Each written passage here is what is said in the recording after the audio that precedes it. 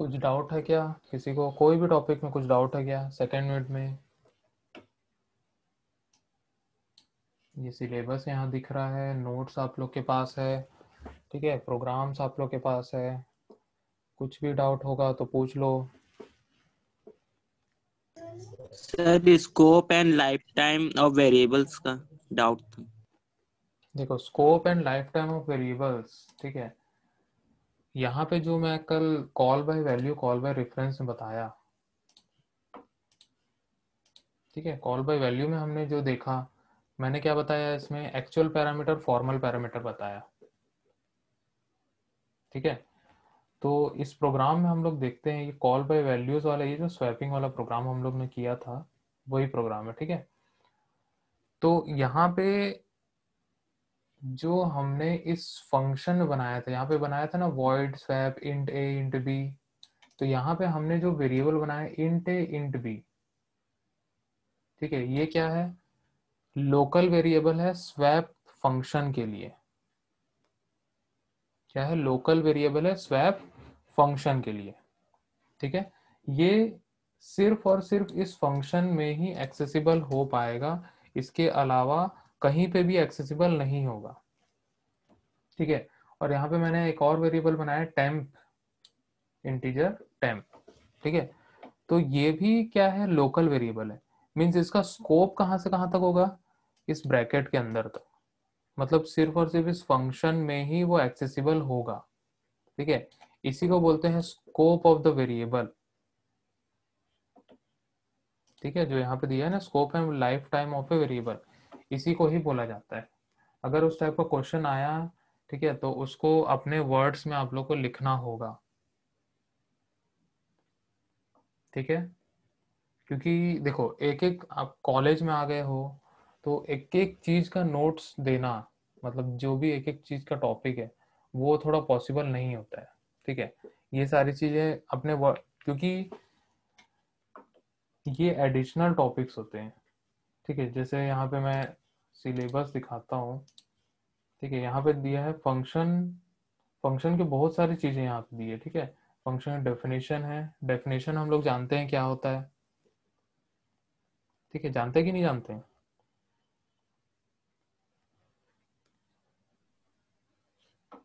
अरे हाँ या ना? यस yes, सर क्या होता है परिभाषा? ठीक है फ़ंक्शन कंपोनेंट्स ये जो फ़ंक्शन एस्पेक्ट्स जो मैंने दिया था, चलो मैं उसको नोट्स में चेंज कर देता हूँ, उसको फ़ंक्शन कंपोनेंट्स में कर देता हूँ, ठीक है? वो एस्पेक्ट्स ना लिख के उसको हम लोग कर देते हैं फ़ंक्शन कंपोनेंट्स ठीक है? अगर कुछ कंफ्यूजन होगा तो। ठीक है? दोनों का मतलब सेम होता है, ठीक है?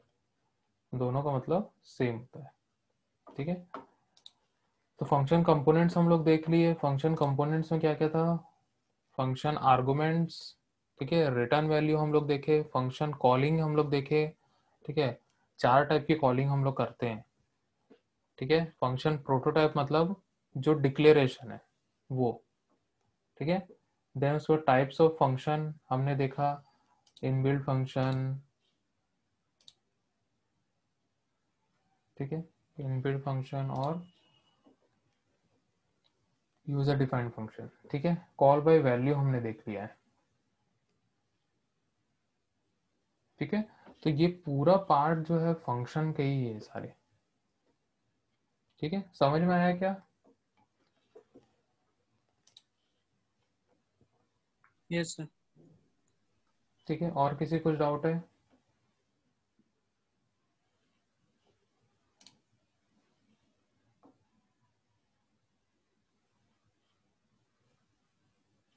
सर? सर रिकर्सिव फ़ंक्शन का एक बार मीनिंग बता दीजिए। वो आएँगे ना अभी टॉपिक में आएँगे उसमें। ठीक है? सब्र रखोगे तो सब चीज़ सीखोगे। ठीक है? रिकर्सिव भी सीखोगे सब चीज़ सीखेंगे अभी। ठीक है? सर। फिबोनाची प्रोग्राम बताइए ना एक बार फिबोनाची प्रोग्राम सर ठीक है? फिबोनाची और कुछ ये सब थ्योरी से रिलेटेड कुछ डाउट है क्या सेकेंड यूनिट में? फिर हम लोग प्रोग्राम के डाउट देखेंगे, ठीक है? मैं नोट करके रख रहा हूँ यहाँ पे फिबोनाची है ना?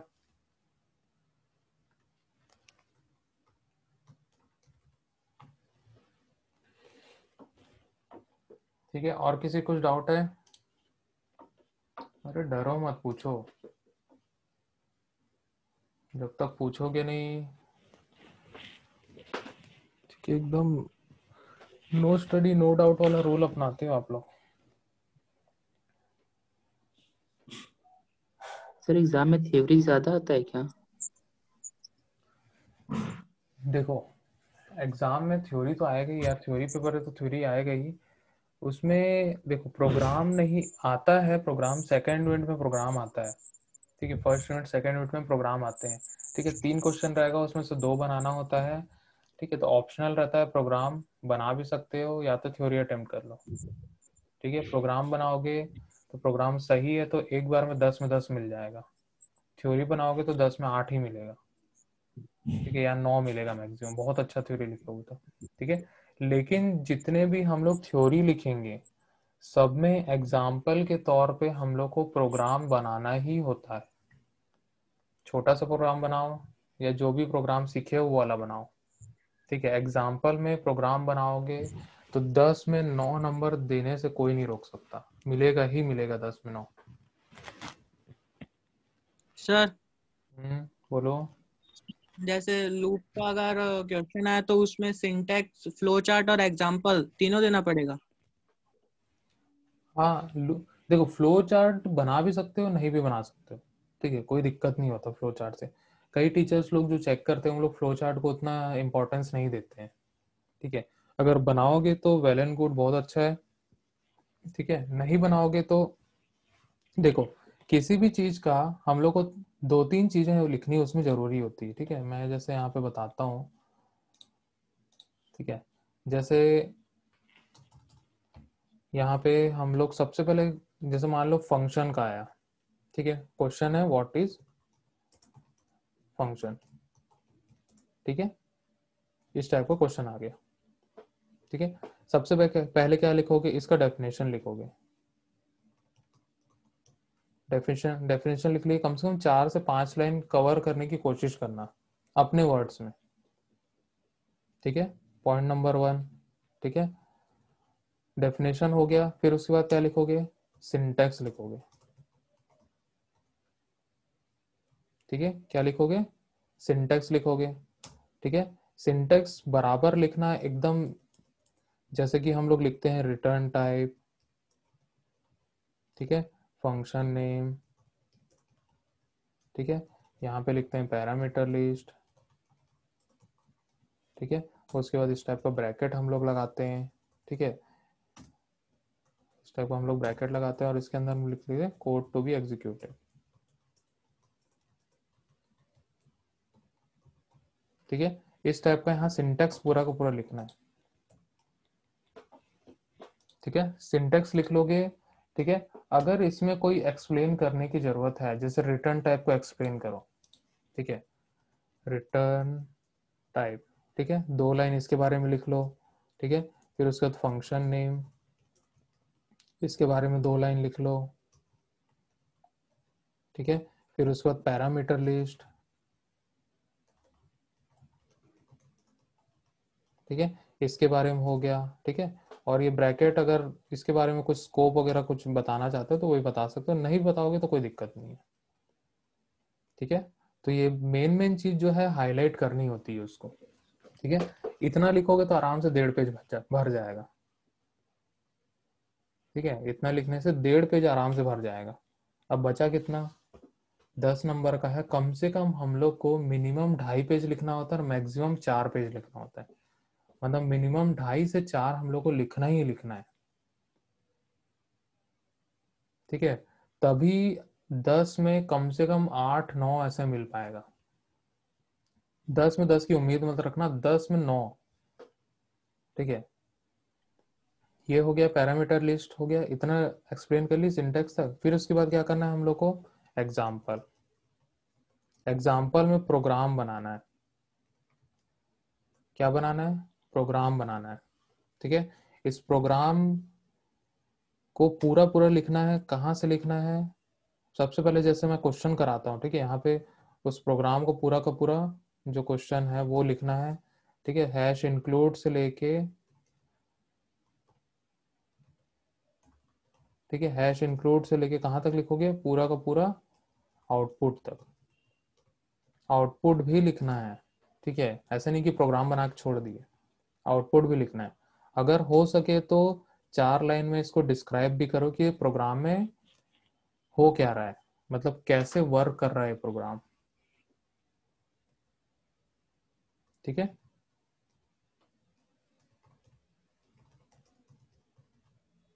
ठीक है डिस्क्रिप्शन या फिर वर्किंग ऑफ़ ए प्रोग्राम हम लोग लिख सकते हैं।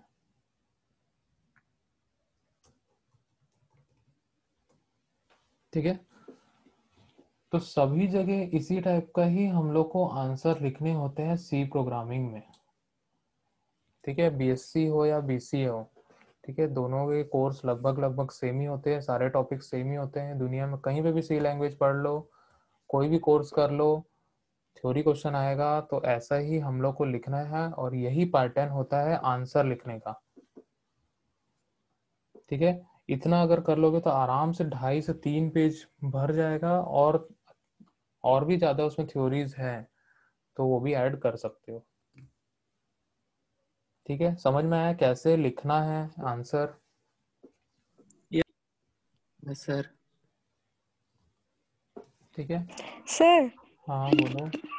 सर आप जितना नोट्स लिखवाए हो उतना पढ़ के काफ़ी है एग्ज़ाम में या फिर कुछ एक्स्ट्रा भी? जैसे आप ऑपरेटर में इस बुक में बहुत आठ दस है या छह सात आपका पाँच ही था तो सर वही पढ़े या फिर बुक से एक्स्ट्रा भी पढ़े? नहीं पाँच कैसे होगा? कौन कौन सा ऑपरेटर कराया पूरा नहीं कराया मैं? सर नोट्स में। अच्छा नोट्स में कोई छूट गया है क्या?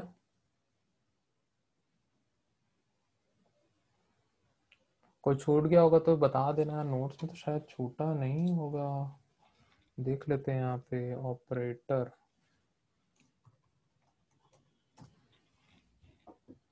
सिक्स ऑपरेटर्स है शायद यहाँ पे।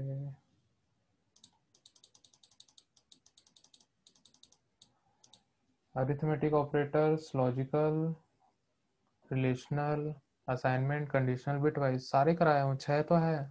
सर तो एक इंक्रीमेंट डिक्रीमेंट करके बुक में है। हाँ वो भी कराया हूँ इंक्रीमेंट डिक्रीमेंट भी कराया हूँ। सर नोट्स में सर नहीं है ना? अच्छा नोट्स में नहीं है क्या? ओके ठीक है इंक्रीमेंट डिक्रीमेंट को मैं दे दूँगा ठीक है? या तो बुक में होगा तो वहाँ से भी लिख सकते हो कोई दिक्कत नहीं है। ठीक है अगर नहीं है तो। ओके ठीक है जो छूट गया वहाँ से भी लिख सकते हो। ठीक है कभी कभी होता क्या हम लोग किसी प्रोग्राम के अंदर ही उसको पढ़ा देते हैं। है ना? तो वो चीज़ शायद थ्योरी में कभी छूट जाती है। ठीक है तो बुक्स उसी लिए दिया गया है ताकि बुक से भी रिफर कर लो है ना? जो चीज़ छूट गया। नहीं तो आप लोग बता दो मैं दे दूँगा। ठीक है मैं इसी में ऐड करके दे दूँगा है ना? इंक्रीमेंट डिक्रीमेंट का। अच्छा। ठीक है इतना पढ़ लोगे तो बहुत है। इतने कंटेंट मतलब मैक्सिमम कंटेंट मैं दे दिया हूँ बस आप लोग को पढ़ना है और उसको अच्छे से लिखना है। ठीक है जब तक उस चीज़ को पढ़ोगे नहीं तब तक फिर कैसे जान पाओगे?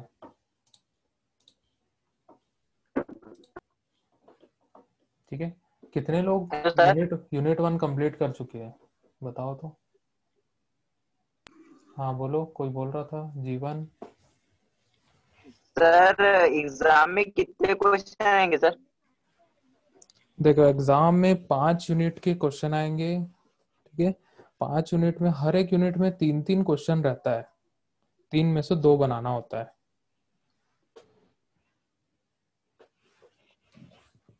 ठीक है ऑप्शनल होता है। अगर ऑप्शन नहीं आया तो दो ही क्वेश्चन आएँगे। दो में ही हम लोग को ऑप्शन मिल जाएगा। जैसे क्वेश्चन वन और क्वेश्चन टू ठीक है? फिर उसके बाद क्वेश्चन में भी, वहाँ पे भी दो ऑप्शन मिल जाएगा। इस टाइप का आएगा पैटर्न चेंज होते रहता है। तो मान के चलो चॉइस हम लोग को मिलेगी सब में। ऐसा नहीं होगा कि कंपलसरी होगा। चॉइस हम लोग को मिलेगी।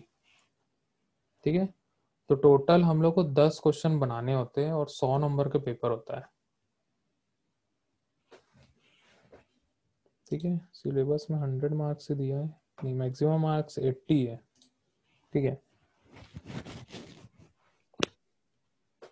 एट्टी मार्क्स का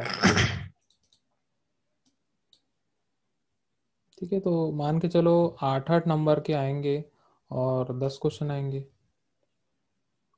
ठीक है? न्यू पैटर्न का तो देखना पड़ेगा अभी। क्वेश्चन पेपर इस बार क्या आया था? ठीक है, उससे पता चल जाएगा।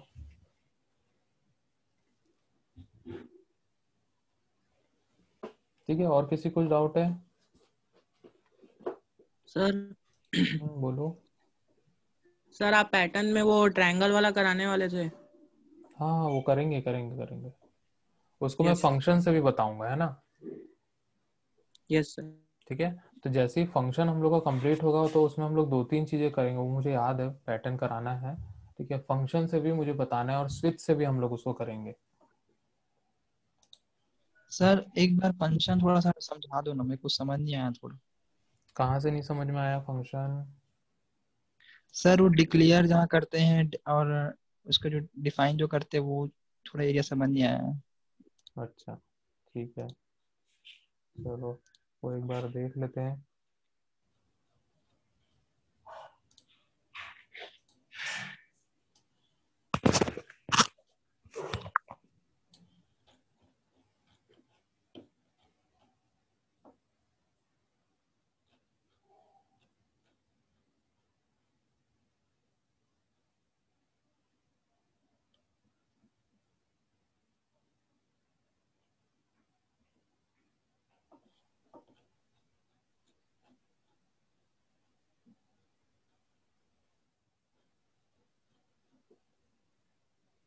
चलो, ये वाला प्रोग्राम ठीक है? छोटा सा सिंपल सा एग्जांपल मैं बता रहा हूँ, इसी समझना, ठीक है? फ़ंक्शन मतलब क्या होता है कि हम लोग एक ऐसा कोड लिखते हैं, ठीक है? हम लोग उसको बार बार यूज़ करना चाहते हैं।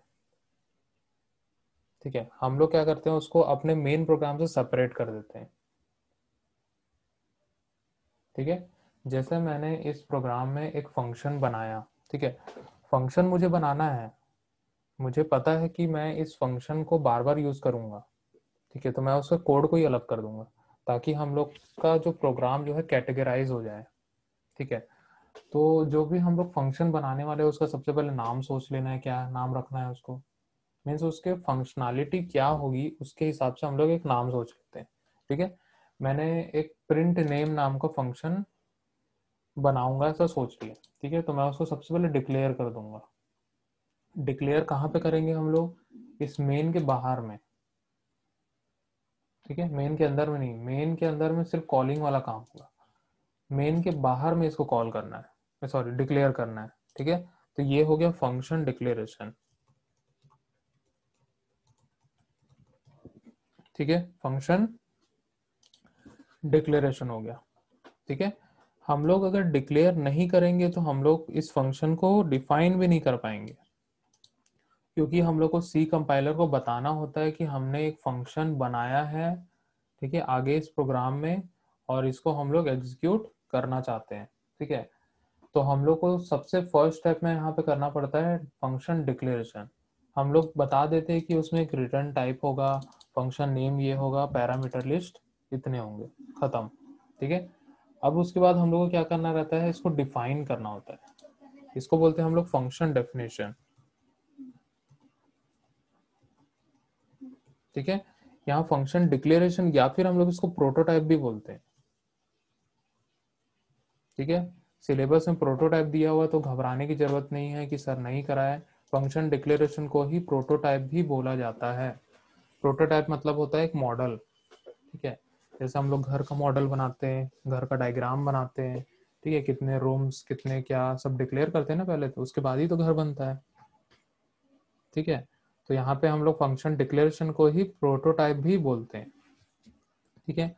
देन हम लोग का प्रोटोटाइप बन चुका है। अब इसको हम लोग क्या करेंगे? डिफाइन करेंगे। ठीक है? डिफाइन करना मीन्स जो सिग्नेचर हमने यहाँ पे यूज़ किया है। सिग्नेचर मीन्स जो यहाँ पे डिक्लेयर करते समय हमने जैसा लिखा है, वैसा ही यहाँ पे हम लोग को लिखना है। यहाँ वॉइड लिखे तो यहाँ पे वॉइड लिखना है। ठीक है? यहाँ जो नेम दिए सेम नेम हम लोग को यहाँ पे देना है। ठीक है? और जो भी यहाँ आर्गुमेंट हम लोग देंगे, वो भी यहाँ पे हम लोग को डिफाइन करना होता है। ठीक है? देन उसके बाद इस टाइप का हम लोग ब्रैकेट स्टार्ट कर दे और यहाँ पे जो भी हम लोग को कोड लिखना है, वो हम लोग यहाँ पे लिख देते हैं। ठीक है? तो ये पूरा का पूरा फ़ंक्शन डेफिनेशन होता है। फ़ंक्शन डेफिनेशन हम लोग इसको बोलते हैं। देन उसके बाद हम लोग इसको कॉल करते हैं। थर्ड स्टेप होता है फ़ंक्शन कॉल फ़ंक्शन कॉल हमेशा इस मेन के अंदर में ही होगा, या फिर हम लोग किसी दूसरे फ़ंक्शन के अंदर कर सकते हैं। ठीक है? फ़ंक्शन कॉल हम लोग सिर्फ़ और सिर्फ़ फ़ंक्शन के अंदर में ही कर सकते हैं, चाहे वो मेन हो या फिर कोई दूसरा फ़ंक्शन हो।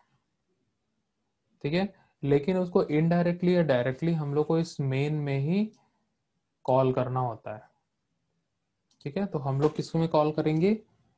मेन फ़ंक्शन के अंदर में कॉल करेंगे ठीक है? सिंपली हम लोग इसको नेम जो हम लोग फ़ंक्शन नेम दिए और इस टाइप का आर्गुमेंट लिस्ट लिख के हम लोग इसको कॉल कर देते हैं और कुछ भी हम लोग को करने की ज़रूरत नहीं होती। इसको हम लोग बोलते हैं फ़ंक्शन कॉल ठीक है समझ में आया? यस सर ओके ठीक है। और कुछ डाउट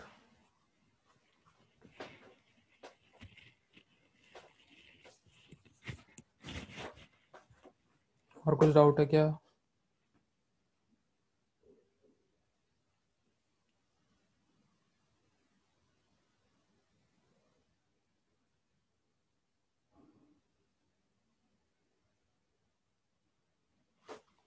और कुछ डाउट होगा तो पूछ लो।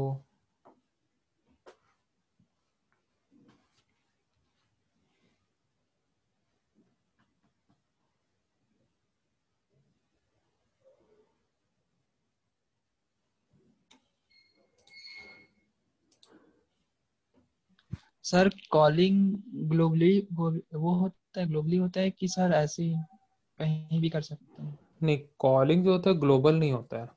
किसी फ़ंक्शन के अंदर में होता है वो। ग्लोबली कॉल नहीं कर सकते ना उसको। कैसे कॉल करोगे ग्लोबली नहीं कर सकते। यस ठीक है हम लोग ग्लोबल डिक्लेयर सिर्फ़ फ़ंक्शन को कर सकते हैं। ग्लोबली डिक्लेयर यहाँ पे जो हम लोग डिक्लेयर किए हैं ये ग्लोबली डिक्लेयर किए हैं। ठीक है। और हम लोग वैसे ही वेरिएबल्स को भी ग्लोबली डिक्लेयर कर सकते हैं हम लोग। ठीक है, अगर हम लोग चाहते हैं कि एक कॉमन वेरिएबल हो और वो हर फ़ंक्शन में यूज़ हो तो हम लोग वैसा भी कर सकते हैं।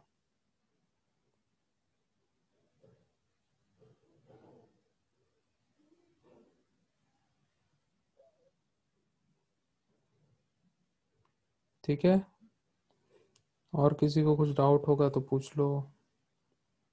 दो मिनट बचा है। सर कॉल के अंदर साइकोलॉजी को प्रिंट नहीं करा सकते? किसके अंदर?